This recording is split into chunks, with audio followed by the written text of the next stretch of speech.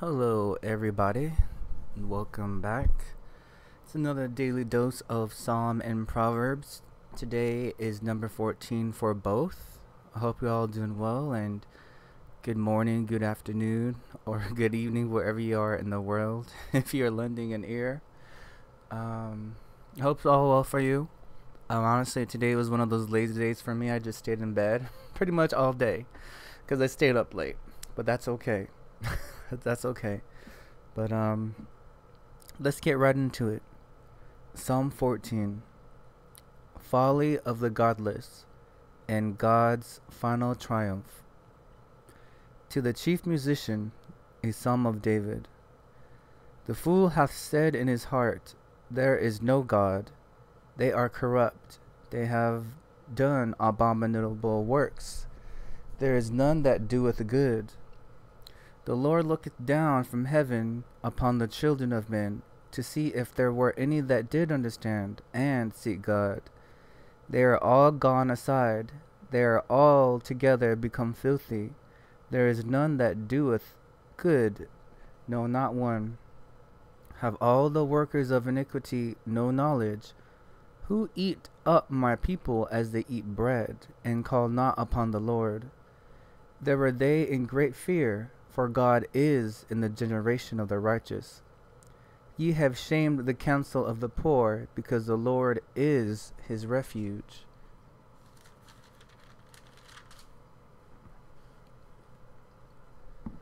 Oh, that the salvation of Israel were come out of Zion, when the Lord bringeth back the captivity of his people.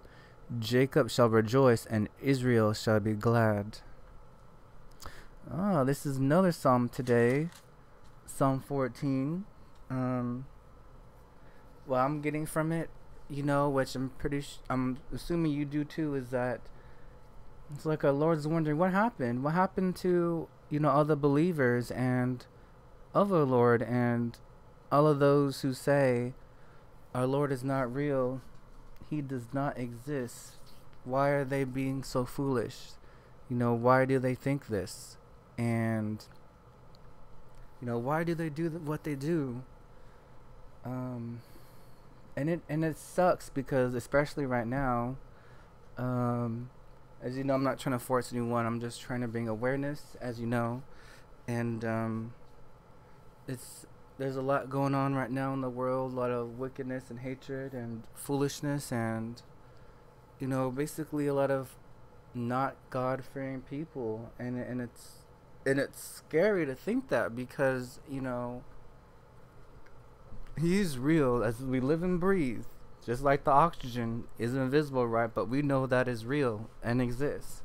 Well our lord is also you may not be able to physically see but he is real you know and um pretty sure there have been times in your life that things happened they may have gone your way for the better and you think it was good luck or what a coincidence or it was all me or you know whatever have you when in all honesty no it wasn't good luck.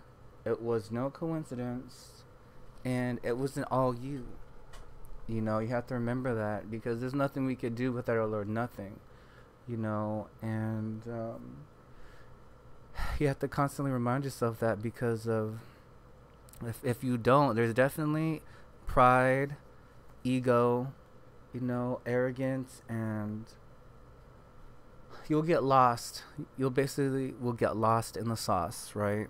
So that's not good. You don't want to get caught up in that crowd because it's not it will not end well, you know, but Psalm 14 to me is you know it's just the Lord wondering why why so many people gone astray. What happened to the sheep? You know they got caught up in themselves, and it and it pains our Lord. It really does.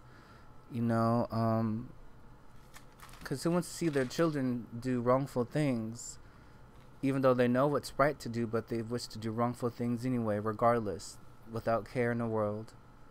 But uh, that was Psalm 14. Let us go on to Proverbs 14. Alright, here we go. Every wise woman buildeth her house, but the foolish plucketh it down with her hands. He that walketh in his uprightness feareth the Lord, but he that is perverse in his ways despiseth him. In the mouth of the foolish is a rod of pride, but the lips of the wise shall preserve them. Where no oxen are, the crib is clean, but much increase is by the strength of the ox.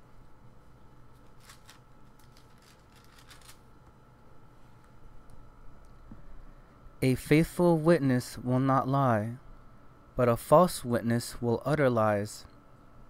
A scorner seeketh wisdom, and findeth it not, but knowledge is easy unto him that understandeth. Go from the presence of a foolish man when thou perceivest not in him the lips of knowledge. The wisdom of the prudent is to understand his way, but the folly of fools is deceit. Fools make a mock at sin, but among the righteous there is favor. The heart knoweth his own bitterness, and a stranger doth not intermeddle with his joy. The house of the wicked shall be overthrown, but the tabernacle of the upright shall flourish. There is a way which seemeth right unto a man, but the end thereof are the ways of death. Even in laughter the heart is sorrowful, and the end of that mirth is heaviness. The backslider in heart shall be filled with his own ways, and a good man shall be satisfied from himself. The simple believeth every word, but the prudent man looketh well to his going. A wise man feareth the departeth and departeth from evil, but the fool rageth and is confident. He that is soon angry dealeth foolishly, and a man of wicked devices is hated. The simple inherit folly, but the prudent are crowned with knowledge. The evil bow, bow before the good, and the wicked at the gates of the righteous. The poor is hated even of his own neighbor, but the rich hath many friends. He that despiseth his neighbor sinneth but he that hath mercy on the poor, happy is he. Do they not err that devise evil? But mercy and truth shall be to them that devise good. In all labor there is profit, but the talk of the lips tendeth only to penury. The crown of the wise is their riches, but the foolishness of fools is folly. A true witness delivereth souls, but a deceitful witness speaketh lies. In the fear of the Lord is strong confidence, and his children shall have a place of refuge. The fear of the Lord is a fountain of life, to depart from the snares of death. In the multitude of people is the king's honor, but in the want of people is the destruction of the prince. He that is slow to wrath is of great understanding, but he that is hasty of spirit exalteth folly.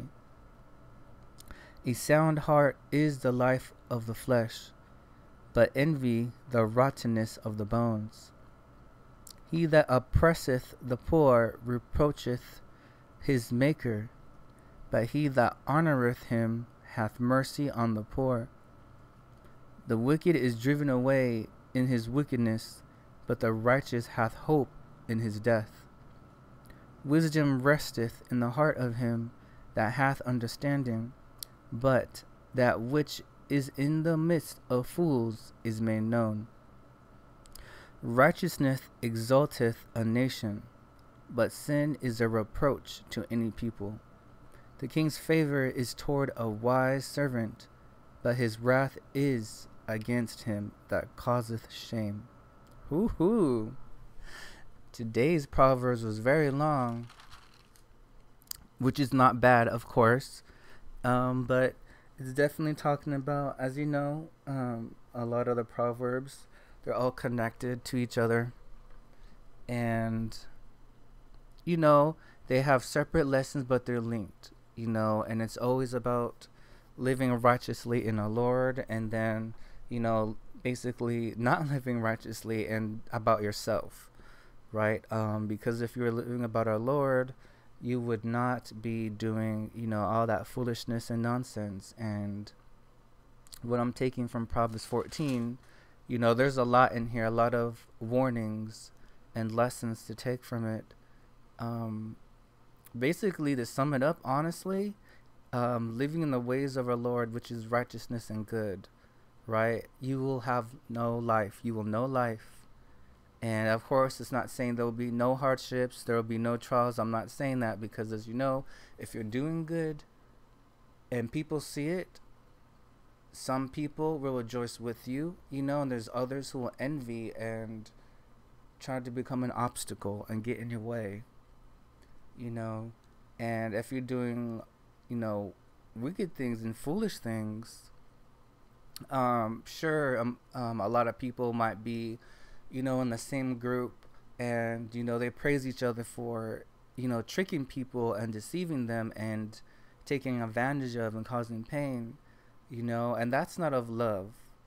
It is not of love, you know, and that means it's also not of our Lord. So it's like, why would you do that? You know, and it pains our Lord to see us do these things to each other, you know, it's not fun, it's not cool, you know, and um, it, it, it's not good. It's not good, so why should we do each other wrong when we don't have to? And regardless of your um, financial status or the clothes you're wearing or the cars you're driving or um, you know uh, I guess your family name or you know whatever um, like social media too amount of followers you have or if you're a celebrity or famous or whatever have you, you know regardless um, because um, you know with our Lord it's come as you are. It doesn't matter the clothes you're wearing. It doesn't matter your, um, you know, how much money you have. It doesn't matter um, where you live. You know, our Lord just wants us to come as we are. And I heard this from somewhere. I honestly can't remember if it was within um, my Bible or if it was with from my um, speaking with one of my family. I can't remember where I heard that from but I just know that our Lord wants us to come as we are, you know, and we're not perfect. And we don't have to be perfect to reach out to our Lord. We don't have to because He already knows. He already knows what we're going through. He already knows what we've done. He already knows what we will do. But regardless of that, He just wants you. He just wants to reach out to you. He's always, you know, our Lord's always chasing us uh, whether you realize it or not. And um, sometimes it can be difficult to notice. Um, but you know, it's unrelenting love and what our Lord and Savior, you know, did for us. You know, pay for our sins, our debt full and sins from the past, present, and the future things we are going to do. Don't take advantage of that and think because our Lord and Savior done that, you could do whatever you want. You're freed to, you know, like an all out buffet and you're forgiven and you can do whatever you want. It's not like that. You know, um, you must fight to from, you know, doing foolish things or wicked things and committing these sins and things you know you have no business of getting into. Don't do it. You must fight because um you know, heaven hell is real and you know, this life we're living in is temporary. This flesh we have is temporary, you know, it's not forever. And one day um it will I guess to put it not so how do you say uh, I guess negative or badly, but our bodies will expire. They're not forever, you know. Um, I'm not saying not enjoy, you know, every moment that you have of your life, but don't be doing foolish things and wicked things because no, um, you don't want to wait until the last minute, or you're not waiting for the last minute, but it will be too late when you realize the truth. And I know I'm not trying to force things down anybody's, you know, beliefs or their background, but I mean, if you just live rightly, you just live justly, I don't know if that's the word, but righteously, and do good and mean it generally, not to do it just to, you know, excuse me, um, take advantage of someone or, you know, to I don't know, you have a scheme, I guess you could say. Um, come from your heart, come from your soul, you know, and definitely avoid doing nonsense, foolish, wicked things, okay? Um, you don't have to trust my word. Just just think of it this way. This is how I think about it. I look at it as if if you cannot speak if you cannot perform a task or you cannot behave whatever you're going to say, whatever you're going to do, or however you're going to act, if you cannot do that in front of a child, more than likely you probably shouldn't be doing it, right? Like saying words you speak, or um, some nonsense acts, or your behavior you sh- and you wouldn't do it in front of a child, so more than likely you probably shouldn't be doing it, and that's one way I look at it. Um, you know, because that does put you in check. I know it puts me in check, and I'm trying to remind myself of that when I think about going, doing something, whatever, and um, and um, you know, other things too, because we shouldn't be doing it in the first place. But um, Psalm Psalm 14, you know, I know our Lord is just just wondering what's going on. Well, our Lord already knows, of course, but um, Psalm 14, um, you know, about us that why so many of us gone astray, um, you know, and it hurts, it pains our Lord. And Proverbs 14 is basically a huge warning and reminder and lessons about, you know, um, living righteously and living wickedly. And it's not that complicated. Um, it really isn't. It's it's us that make things complicated more than they have to be. And um, it's unfortunate to say that because when you see you know, animals like cats and dogs, squirrels, birds, um, you know, you see them and they for the most part they get along you know um like let's say squirrels and birds. They could be up by a tree you know looking for food. They are not bothered by each other. They're not trying to attack each other. They're at peace. And then you look at us humans. We get there's a lot of hatred um, especially as you know, especially here in the states, with skin color, and we're all humans, and there's a lot of hatred because of skin color. And then you look at animals like squirrels and birds, not even the same species, and obviously different colors, but they're at peace. So it's like, how come we can't be at peace? But you see all these other animals here at peace with each other, you know, um, only they'll have a confrontation because one's trying to hunt the other for food or they're defending themselves or their family and that's it. They're not doing it out of hate or spite or you know just to do it. But us we doing it just to do it and for no good reason.